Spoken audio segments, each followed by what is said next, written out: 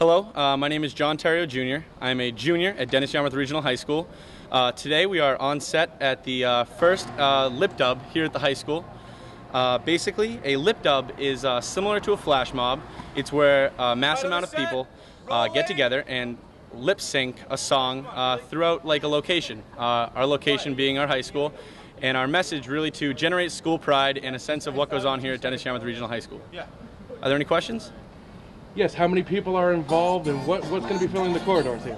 We have about 33 main cast members, uh, as well as uh, between 600 and 800 uh, background fill-ins that we're going to use throughout uh, throughout our shooting.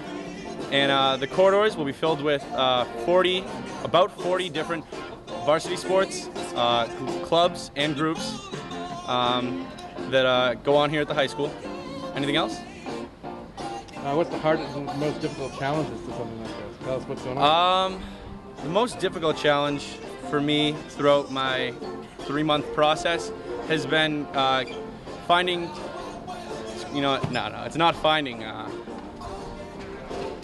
you can start again. I know, yeah. I'm gonna start over. Uh, I'd have to say the most difficult thing about putting a lip dub together is making sure everyone's at all the rehearsals and uh, and that everyone knows where they're supposed to be at what time and what they're supposed to be doing.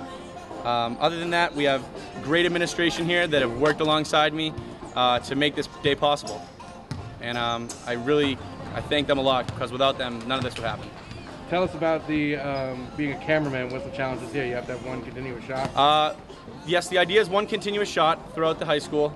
Um, I have uh, a steady cam here, uh, actually, a glide cam uh, that allows me to uh, keep my shot steady as well as keep everything in front of me in focus. So I'd say the toughest thing is going to be going up in the lift. Uh, scared of heights, but looking forward to it. Uh, the most difficult part was um, getting all the students together for uh, rehearsals. And the thing is, all the students we chose are active. They're great students. They're what I've classified as faces of Dennis Yarmouth High School. And it's hard to find all these kids that are in so many groups and in so many sports to pull them all away from that for uh, just two hours to practice at night. But um, they were really dedicated, and uh, we managed to do it, and we managed to pull it off. And how did you pick this song? Uh, the song we picked, we wanted to have, um, there were two qualifications. We wanted a song that was from our generation and a song that uh, really sent a great message. However, we could only find one of the two, and that's where we uh, came upon uh, Hall & Oates' uh, song, You Make My Dreams Come True. And uh, that's really what happens here. And, um, and we love the song, and we're happy, uh, we're happy with the way things are going so far.